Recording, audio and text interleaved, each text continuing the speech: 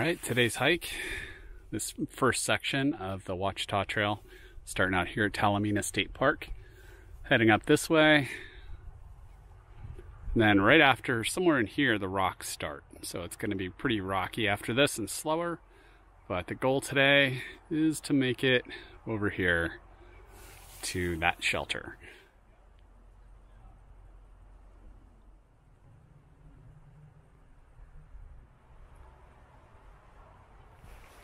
So, cruising up the trail, I got started about an hour earlier than I thought I would. So, this is very fortuitous. Here's the scenario. There's the Garmin message, which always goes off when I'm talking to the camera. So, here's the scenario. First off, we've got rain coming in. It's a forecast for potential hail tonight. Uh, thunderstorms between 6 p.m. and midnight. So that's factor number one. So getting an early start is advantageous. Hoping to camp at a shelter tonight and ride that out. The hail forecast was potentially golf ball size hail. So I don't want that.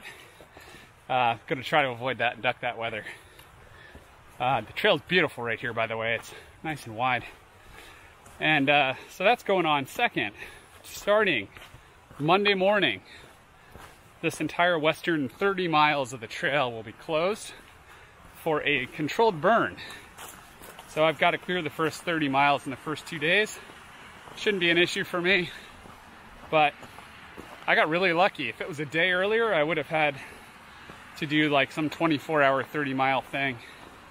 So I feel very fortunate about that timing.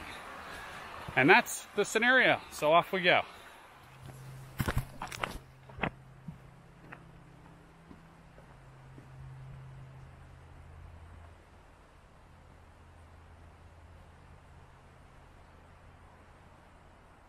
So, how did I get here? Might be a question some folks have. So, yesterday I flew from Seattle down to Dallas and then took a short flight from Dallas to Fort Smith, Arkansas, which is right on the Oklahoma Arkansas border. And this morning, and I got an Uber ride from the airport there and got my fuel and everything set for my stove and uh, checked into the hotel. This morning I got a ride from Mike and Lynn's shuttle service, and I'll put the number on the screen here. Uh, Mike was great. Mike's got a ton of background and knowledge about this trail and trails in the area. He worked for the State Park Service in Arkansas for a while. He's a foot Friends of the Ouachita Trail uh, volunteer. Really extensive knowledge. Helped get the shelters built here on the west end of the trail. I enjoyed my ride with him, which lasted a little over an hour. And uh, highly recommend him. He was great. So check that out if you need a ride. And I found flying into Fort Smith to be pretty efficient. So if you're looking to get to the west end of the trail from out of town, that's not a bad way to go.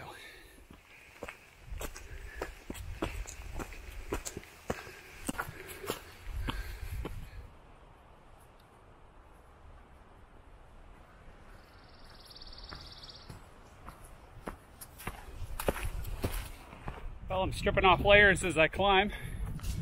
This uh, trail starts out with a good initial climb, and it's windier up here. It's supposed to be windy today, so I'm expecting that. Keeping me cool at least. The next focus area will be water. I downed a liter at the trailhead, carrying a liter with me, and based on conversations I had and things I see, I'm expecting to find some a little ways down the trail and uh, be fine on that. But worst case scenario, I might have to adjust plans a bit.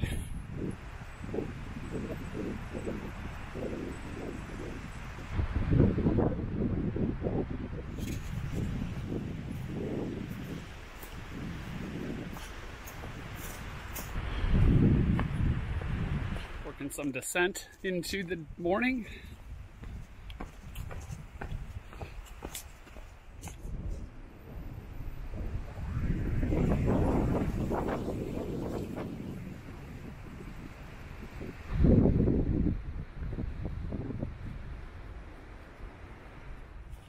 Really enjoying the sounds of the wind up here as it ebbs and flows, gusts and drops off. Reminds me a lot of the waves at the beach or some other thing. It feels like you're just kind of drifting with the wind down the trail. It's definitely keeping me cool, but not too cool. It's just a beautiful day for hiking out here uh, in, the, in the 50s.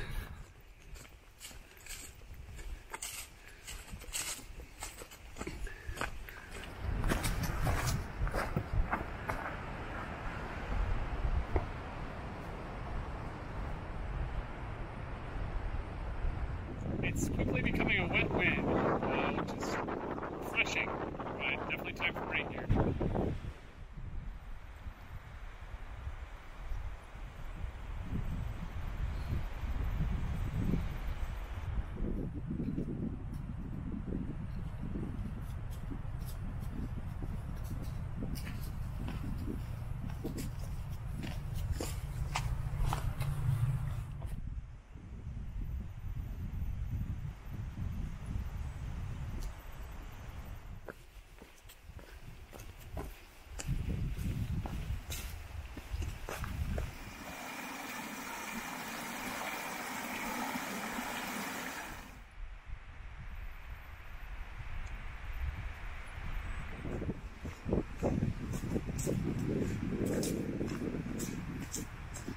Got some water here that was meant for 211, which according to Mike, uh, once you're past the date, you are okay to take the water up here. So I'm gonna help myself a little bit.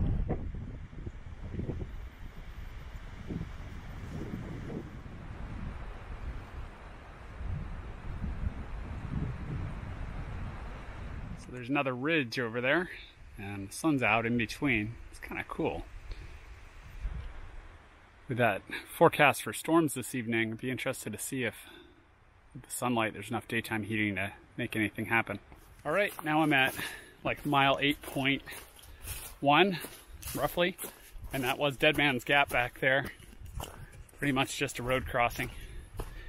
Uh, it's great to get that water, so I'm still very thankful for that. Pulled a liter out of there, left some for somebody down the road.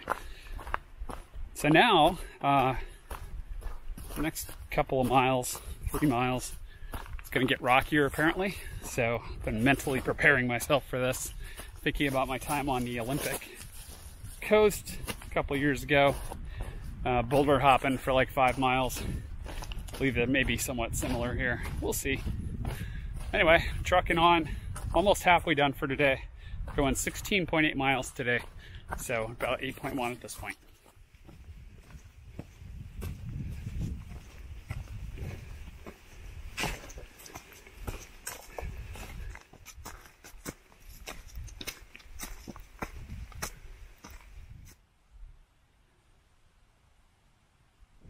Now there's Rock Garden Shelter.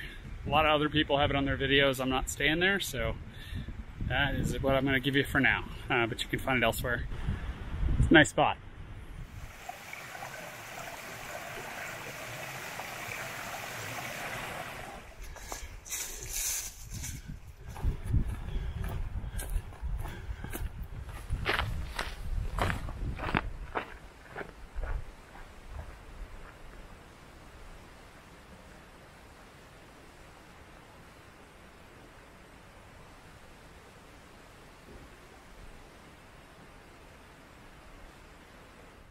All right, I think I've found some of what people talk about when they talk about the rocks.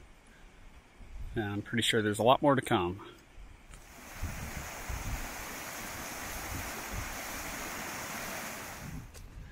The rock theme is definitely picking up in pre prevalence after mile 11.2.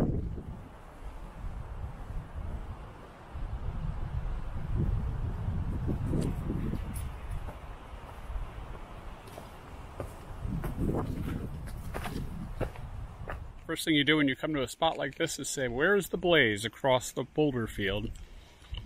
That's right over there. And you kind of set your course based on where the blaze is. So you don't get lost or linger around too much.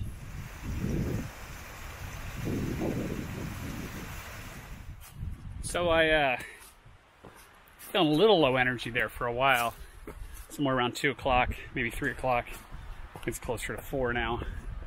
Got my second wind a bit. About to go uphill though, so that might change everything. We'll see. But I uh, just crossed mile 14, so about 2.8 miles to go. And this trail has rocky sections, but it's not all rocks. That was my concern. Reading reports, it's more like boulder fields separated with mossy trail and pine needle trail and a few rocks thrown in. But it's just those bouldery sections that can be challenging and they're hard on your feet. They've definitely been hard on my feet so far. But uh, feeling good. Gonna make it today. I attempted to camp right here. I think it's a campsite right near where I am that I saw pictures of online, but I want to get into the shelter for tonight. Also, I met two guys hiking eastbound through hiking like me, Joe and Paul, and they are both going to where I'm going tonight. If all goes according to plan. And Joe has a weather radio, so that's super useful this evening. So, passed him a little while back, and I'm sure I'll see him tonight. I'll save room for him at the shelter.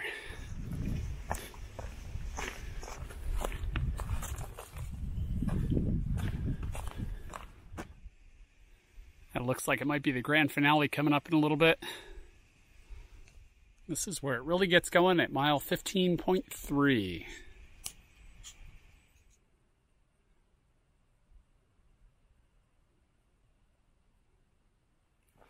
Well, I'm about a mile from my camp spot tonight, Holson Valley Shelter.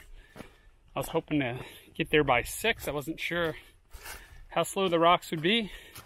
I was able to average two miles an hour for the day, which isn't great for me. But, uh, you know, and the rocks slowed me down, but overall, I uh, feel pretty good about that. Kept me going at a good enough pace to make it in here before dark. And that was my goal, get here before eh, 6.30. So definitely accomplished that goal. And uh, gonna enjoy the evening and wait for my guests to arrive as well. Well, it just got real dark and the clouds are moving in. I don't know if it's just late in the day or if got a storm coming in, but in any event, that is Holson Valley Shelter. And I am happy to see it tonight. I'm to call it Holson Valley Lodge tonight. It's to feel great to be in there. So thankful to all the foot volunteers who have advocated for this type of infrastructure on this trail. It's uh, especially with the hail forecast, may may not happen, but it is uh, definitely appreciated.